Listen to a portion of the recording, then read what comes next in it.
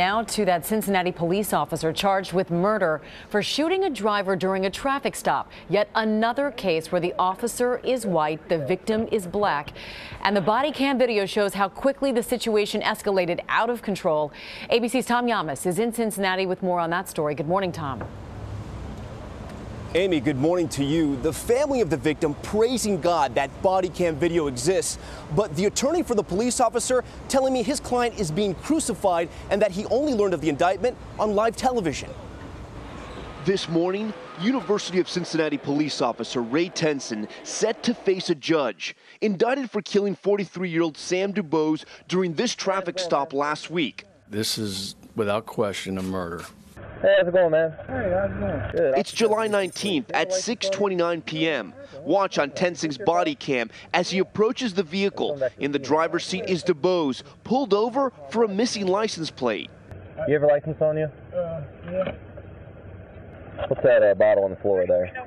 DuBose hands over what looks like a bottle of gin, but fails to produce his license.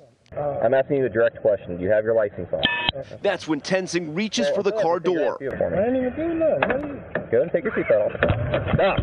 Stop. We won't show you what happens next, but you can hear the gunshot. DuBose's car starts rolling out of control, Tensing racing after it until it crashes, the engine still revving. Moments later on police radio, this is how Tensing describes what happened. My injured, I almost got ran over by the car. He took off on me. I discharged one round, struck me on the head. The officer later claiming in a police report he was being dragged by the vehicle and had to fire his weapon. Prosecutors say Tensing never should have pulled the trigger. This is the most asinine act I've ever seen a police officer make. Totally unwarranted. A second video taken from the body cam of another officer shows Tensing on the ground after the altercation. Do you think your client was dragged looking at this video? Was he dragged by that car? You can tell from the second video that he was, in fact, somehow he, he ended up on the ground in the middle of the street.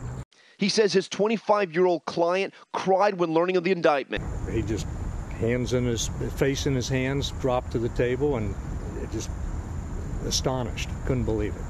DuBose's mother had this message for the officer who took her son's life. May God have mercy on your soul.